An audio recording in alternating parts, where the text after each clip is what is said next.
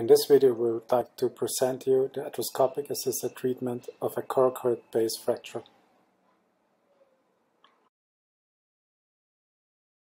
A CT scan is useful to confirm the diagnosis and judge the fracture pattern and dislocation.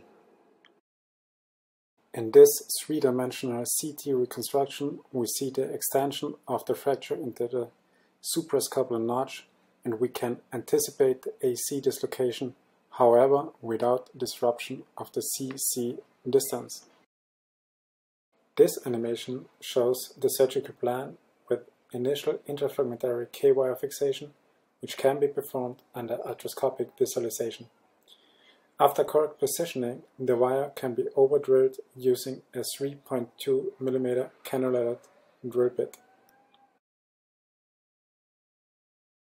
For fracture fixation and interfragmentary compression, a cannulated, partially threaded 4.5 mm screw is placed under arthroscopic and additional fluoroscopic control.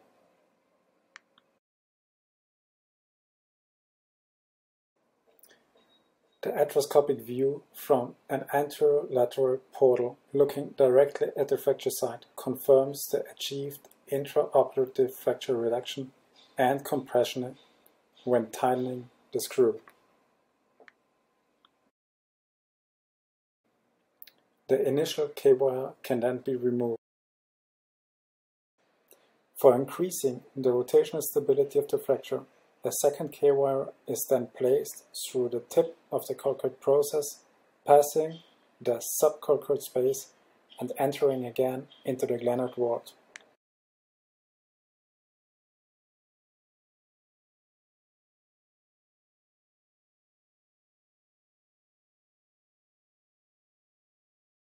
This K-wire can again be overdrilled using a 3.2 mm cannulated drill bit.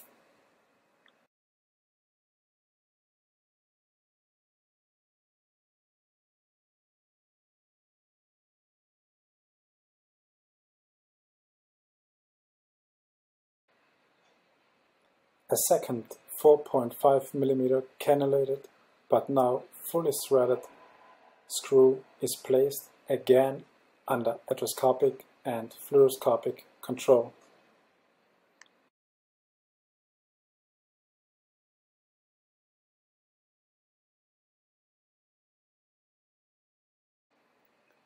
Also the second K-wire can then be removed.